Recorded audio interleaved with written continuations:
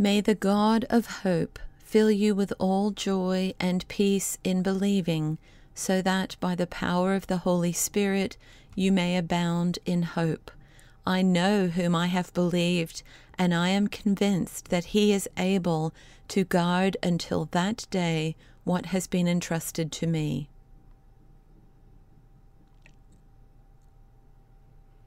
May the God of hope fill you with all joy and peace in believing, so that you may abound in hope by the power of the Holy Spirit.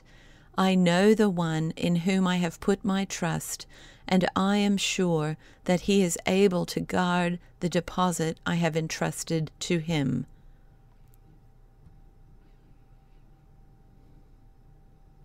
May the God of hope fill you with all joy and peace as you trust in him, so that you may overflow with hope by the power of the Holy Spirit. I know whom I have believed, and am convinced that he is able to guard what I have entrusted to him until that day.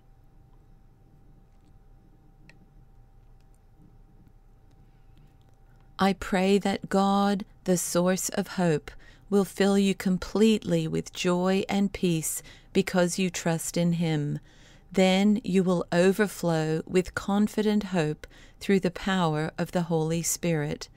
I know the one in whom I trust, and I am sure that he is able to guard what I have entrusted to him until the day of his return.